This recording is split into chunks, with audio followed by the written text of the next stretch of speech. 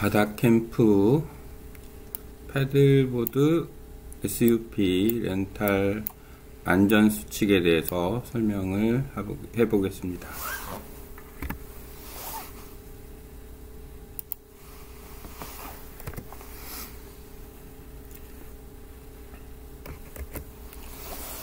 leash 착용하기 paddleboard 역시 서핑보드와 마찬가지로 leash를 착용을 하고 타야 안전할 수 있습니다. leash는 아, paddleboard에서도 구명조끼 역할을 합니다.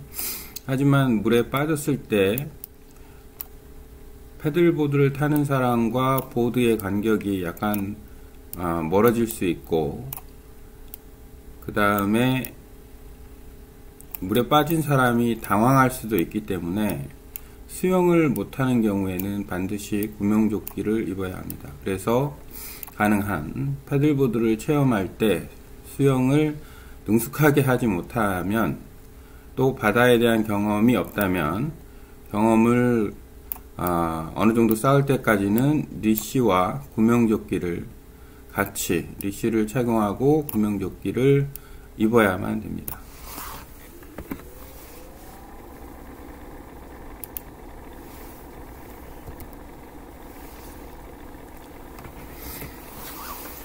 서핑과 마찬가지로 역시 패들보드를 탈 때도 조속 그 다음에 윈드파인더 수온 정보를 활용을 해서 자연 환경을 기본적으로 알고 패들보드를 타는 게 이용자 안전을 위해서 중요합니다.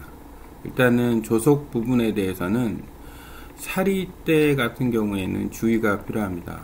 어느 정도 음, 조류가 형성이 되기 때문에 아, 사리대보다는 조금 때가 더 안전하고 사리대는 아, 안전한 구역에서 조류가 세지 않은 구역에서 어, 타야 되고 윈드파인더 중에서는 이렇게 지금 동풍이 불 때는 패들보드를 타는 데는 위험합니다.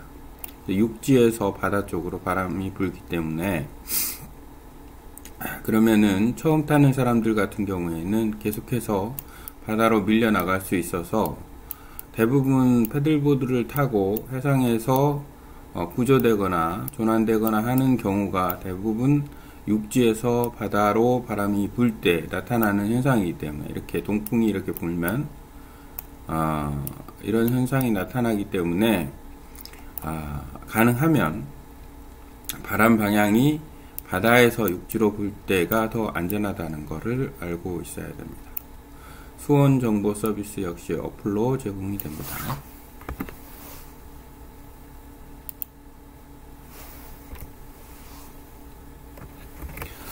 말리포는 패들보드를 타기 아주 좋은 장소입니다. 우선 이렇게 해변 라인이 아, 반달 모양으로 호수처럼 되어 있고 이렇게 번역 자체가 호수처럼 되어 있기 때문에 패들보드를 타기 아주 좋고 그 다음에 잔잔할 때는 요 앞에 바다 캠프 앞쪽에서 어, 패들보드를 탈 수가 있고 만약에 바람이 이렇게 분다 좀 바람이 강하게 부는 경우 파도가 좀 센 경우 이런 경우에는 이쪽이 포구 안쪽이 안전한 곳입니다 최근에 방파제를 10m 정도 늘려놔서 더 안전해졌습니다. 바람의 방향에 따라서 어, 즐길 수가 있습니다. 어, 말포 해변은 중앙 쪽 포구 안쪽이 안전한 곳이고 이 포구박은 조류가 셉니다.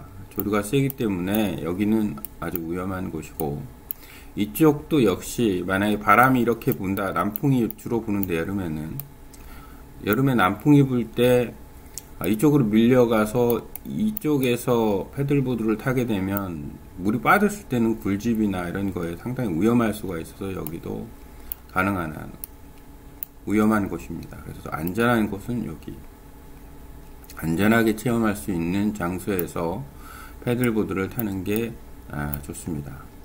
호구박, 그다음 우측 무딱섬 조류 바위 위험지대 유의를 하셔야 됩니다.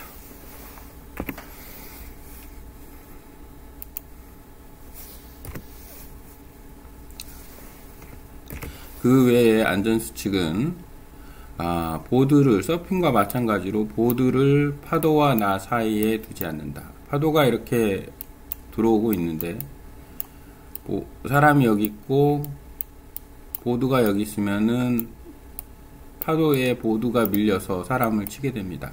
항상 사람이 보드의 바깥쪽, 다시 말해서 사람은 바다 쪽에 위치하고 보드가 육지 쪽으로 할 수 있도록 그래서 파도가 밀어져도 어, 사람이 다치지 않는 타는 사람이 다치지 않고 그리고 주의사항은 아, 보드 있는 쪽에 사람이 있으면 안 됩니다. 그래서 항상 어, paddle out하거나 landing 또는 로, landing을 할 때 해변으로 들어올 때는 앞에 사람이 없어야 됩니다. 사람이 아, 사람이 있으면 서로 부딪힐 수 있기 때문에 가능한 한 사람이 없는 곳에서 리시를 단단하게 착용한다는 거, 보드 중앙에 위치해야 한다는 거, 이런 식으로 보드 중앙에 위치해서 탈 수 있는 거.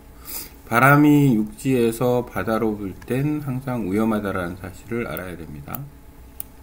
바람이 강할 때는 엎드려서 이동한다. 자, 아, 바람이 강할 때는 이렇게 바람이 불어서 어, 밀리는 현상이 나타납니다. 그래서 가능한 한 이런 방식으로 엎드려서 하면은 바람이 지나가 버리기 때문에 바람이 강할 때는 서핑 자세, 서핑 패들링 자세로 엎드려서 이동을 하면 아, 바람이 강해도 덜 아, 바람에 밀릴 수가 있어서 이게 아주 중요한 아, 부분 중에 안전에 대한 중요한 부분 중에 하나입니다.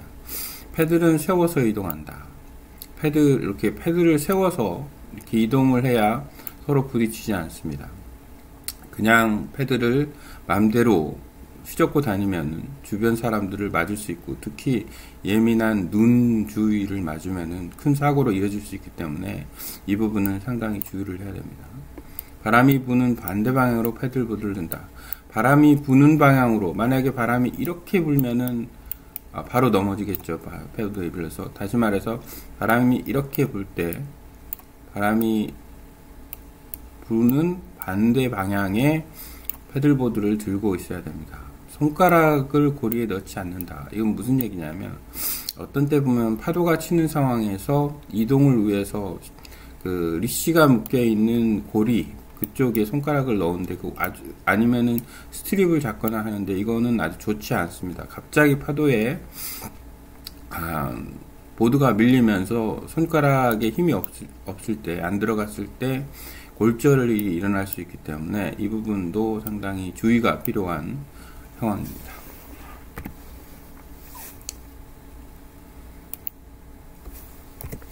이렇게 안전수칙 교육을 아, 기본적으로 음, 교육장에서 마치고 난 다음에는 2층에 가서 2층 입구에 가서 어, 이렇게 입구에 올라가서 슈트를 여자 웨시트룸, 남자 웨시트룸에서 슈트를 아, 자기한 몸에 맞는 것을 고른 다음에 구명조끼 룸에서 구명조끼를 받, 아, 챙겨서 어, 다시 아, 사물함에 와서 이쪽에서 환복을 합니다.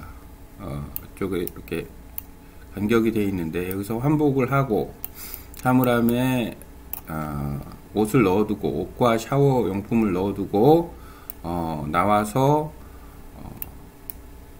바다로 이동을 해서 렌탈을 해서 아, 바다에서 패들보드를 안전하게 즐기면 됩니다. 이상